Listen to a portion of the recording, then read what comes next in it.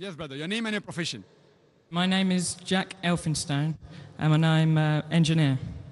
In your talk earlier, you mentioned that one of the reasons you should visit Mecca in your life is because that was the first place that Allah was worshipped. But we know that Allah was worshipped long before, in Adam, Noah, and Moses, and many prophets uh, worshipped Allah. But that wasn't in Mecca. So explain for me, clarify, was Mecca the first place that Allah was worshipped or before? The brother asked a very good question. That it's mentioned in the Bible and also mentioned in the Quran.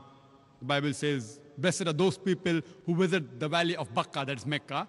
And the Quran says in Surah Al Imran, chapter 3, verse 96, that the first place of worship was Makkah. The brother asked the question that there were many prophets who came before Prophet Muhammad, peace be upon him.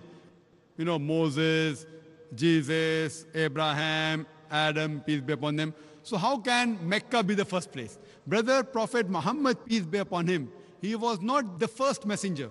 He was the last and final messenger. And Mecca was there much before. It was not the sacred place after Prophet Muhammad was born, peace be upon him. It was earlier. Makkah was a sacred place of worship much before. It's mentioned in the Quran that Abraham, peace be upon him, he rebuilt along with his son, Ishmael.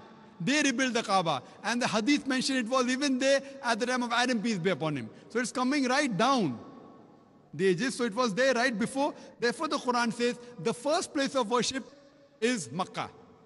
And later on, when the Qibla was towards Masjid Aqsa, then later on it was brought to Makkah. But the first earlier place of worship was Makkah. Then it came back to Makkah. Hope that answers the question. Hey, non